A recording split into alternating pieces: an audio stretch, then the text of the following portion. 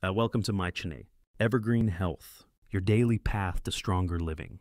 I had no idea how powerful clove can be for your body. So in this video, I'm going to walk you through what may happen if you chew and swallow a single clove every day. When you chew, it break it up thoroughly and then swallow. Clove truly is remarkable. I've come across more than 130 patents that involve cloves in different applications.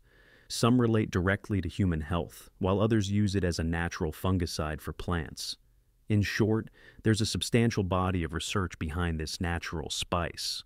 One of the most common ways people use clove is as a numbing aid for a toothache because it has analgesic effects. When we talk about clove's benefits, we're really referring to its key essential oil component, eugenol. You can also purchase eugenol oil on its own, much of the aroma flavor and many of the benefits come from this compound. Eugenol makes up roughly 75 to 80% of clove oil, and there are many other phytonutrients present as well.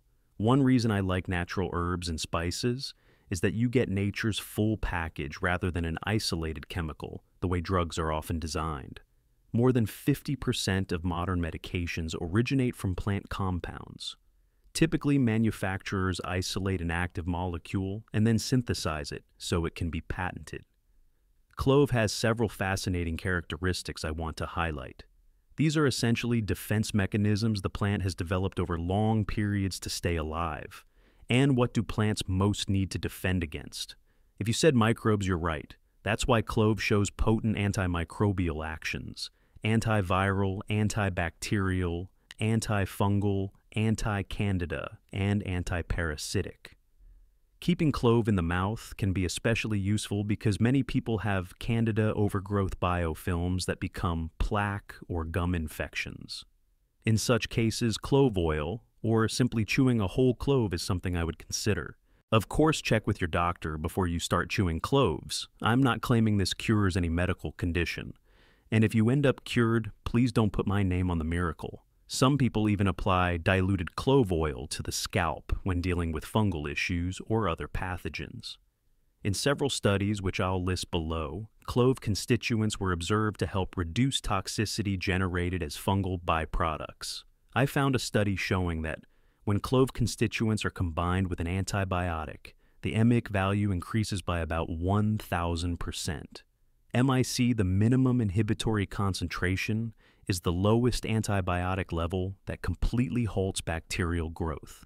Practically, this means you could achieve the same effect with a much smaller antibiotic dose. And as you know, the more antibiotics we use, the more we encourage superbugs. Many microbes die under pressure, but the survivors adapt, become resistant, and pass along those resistance traits. Much like in humans, stress sometimes produces greater resilience.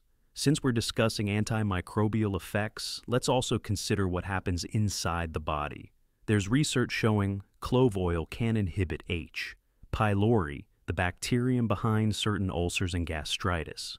Clove has been noted to suppress H. pylori and to support improvements in peptic ulcers, gastritis, indigestion, gas, and bloating. Other than that, it does nothing at all, and yes, that's sarcasm. Clove's phytonutrients also inhibit monoamine oxidase, making it an MAO inhibitor that can influence neurotransmitters such as noradrenaline, serotonin, and dopamine. It also exerts anti inflammatory effects, which makes it interesting for joint discomfort and arthritis. There are even data suggesting anti cancer potential, with signals noted, particularly in lung cancer models. As for side effects, I'm referring to the essential oil, here not the whole clove, staying below about 2. 4 milligrams per kilogram of body weight is a commonly cited safe range, which is one reason herbs and spices are considered relatively safe. You can still overdo it. Excessive amounts may stress the liver, some people are allergic, and clove oil is not recommended during pregnancy or while breastfeeding.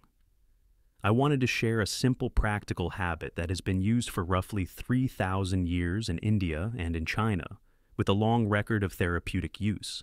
Since we've just covered clove, if you haven't seen my video on the benefits of garlic, make sure to watch the one I reference next. Thank you for watching Evergreen Health. Subscribe to stay healthy every day.